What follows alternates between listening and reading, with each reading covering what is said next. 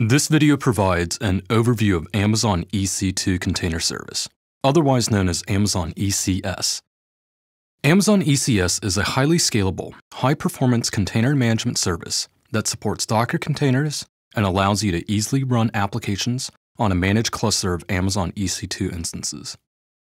You can use Amazon ECS to launch and stop container-enabled applications, query the complete state of your cluster, and access many familiar features like security groups, elastic load balancing, EBS volumes, and IAM roles.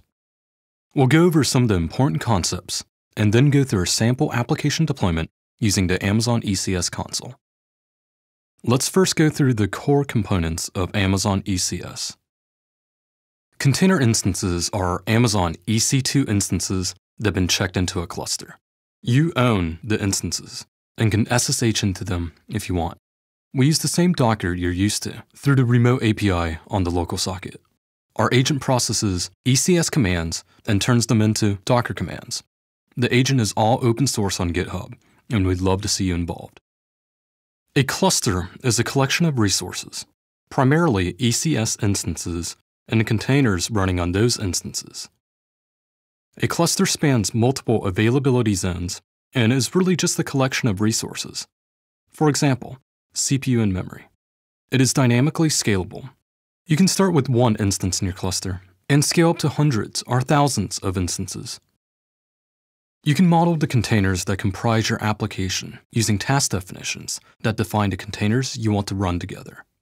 A task definition also lets you specify the container's CPU and memory, as well as Docker concepts like links to establish network channels between the containers, and volumes to persist or share data between containers. Task definitions are tracked by name and revision, just like source code. Our demo will use two containers, an Apache server and a BusyBox. The BusyBox writes an HTML file every second displaying the time of day to a shared volume. The Apache server will read and serve the file. This is a task definition file. You can specify resources like CPU, memory, ports, and volumes for each container. The essential flag specifies whether the task should fail if the container stops running. You can specify the Docker image to use for the container and any volumes to mount from other containers. You can also specify what commands to run when the container starts. A task is an instantiation of a task definition. You can have a task with just one container or up to 10 that work together on a single machine. For instance, Nginx in front of Node.js or Redis behind Rails. You can run as many tasks on a container instance as will fit. ECS has an API for scheduling long-running applications. You just reference a task definition and the number of tasks you want to run. ECS handles the deployment and integration with ELB. Let's use these concepts to start our application. We're going to use the wizard to guide us through this application deployment. Let's select Amazon ECS sample. We are first going to create a task definition. The sampled application we discussed earlier has two containers, an Apache server and a BusyBox. You can use the builder to edit the configuration of each container. For example, you can change the image, or memory, or CPU. You can also edit the task definition directly from the JSON file. Once everything is set to your desired configuration, click Next Step. Next, we're going to use the service scheduler to run our sample application. Let's run one task and also associate it with an ELB. Before we can run our application, we must launch container instances into our ECS cluster. We're going to launch 10 instances. Select T2 Medium and a key pair. Click Manage IAM roles to grant your EC2 instances permissions to access the AWS resources it needs, and for the service scheduler to work with ELB to route traffic to your instances. Clicking on the button will open a new tab in the IAM role creation one-click wizard. Click Allow. Next, click Review and Launch. This screen allows us to review the configurations we selected in the previous steps. Let's click Launch Instance and Run Service. What ECS is doing now is using AWS CloudFormation to launch the requested resources. Once the resource provisioning completes, we can click View Service. Here, you'll see that we have one count of our task running.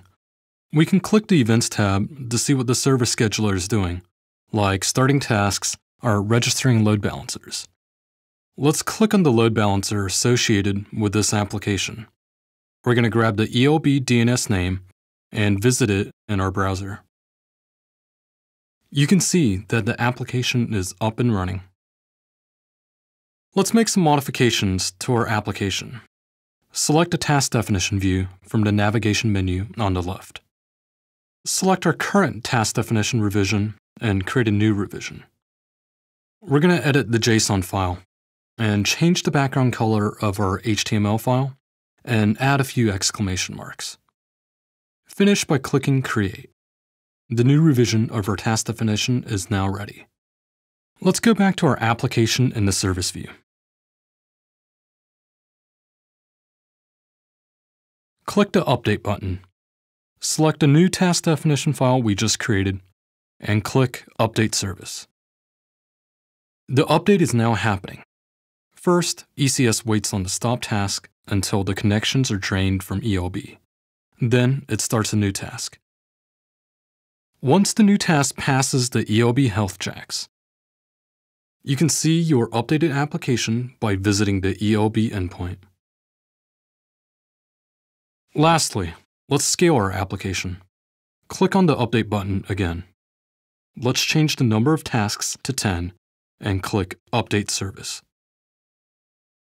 The service scheduler will now scale your application to 10 tasks. Hit refresh, and you can see that we now have 10 tasks running. Thank you for watching this video. Log in to the Amazon EC2 Container Service Console at console.aws.amazon.com/ecs. For more information on Amazon ECS, visit aws.amazon.com/ecs.